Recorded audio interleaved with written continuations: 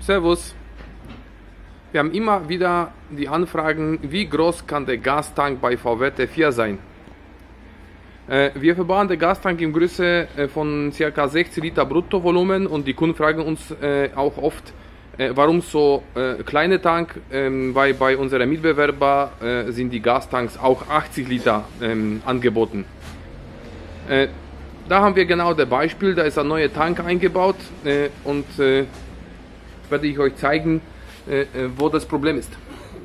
Also auf ersten Augenblick äh, ist der Gastank nicht der tiefste Punkt im Auto, also ist eigentlich alles okay. Äh, der Anfahrtswinkel passt auch. Äh, ähm, also auf ersten Augenblick ist der Gastank fachgerecht eingebaut.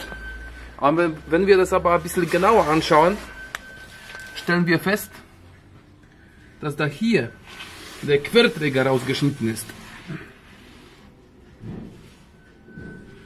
Was eigentlich nicht gemacht sein darf. Also nur wenn der Ingenieur bestätigt, dass die Stabilität von dem Fahrzeug beibehalten ist, dann kann der Werkstatt sowas machen. Der Gastank ist ja äh, äh, als Querträger nicht vorgesehen.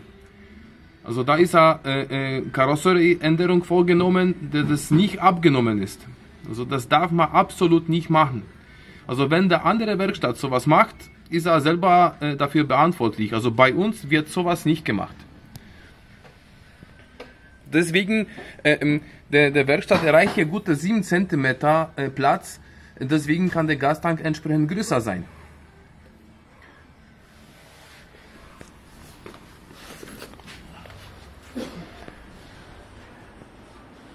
Also unsere Werkstatt arbeitet zu 100% nach äh, Herstellervorgaben und nach äh, ähm, EC 115. Und da ist er ganz genau vorgeschrieben, ähm, was da angehalten sein soll. Danke, Servus.